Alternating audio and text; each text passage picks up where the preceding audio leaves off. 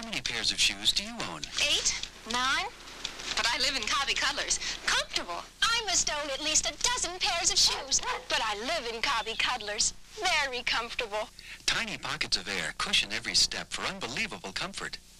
Nobody has more shoes than I, but I live in Cobbie Cuddlers. Ultra comfortable. Cobbie Cuddlers, shoes you can live in.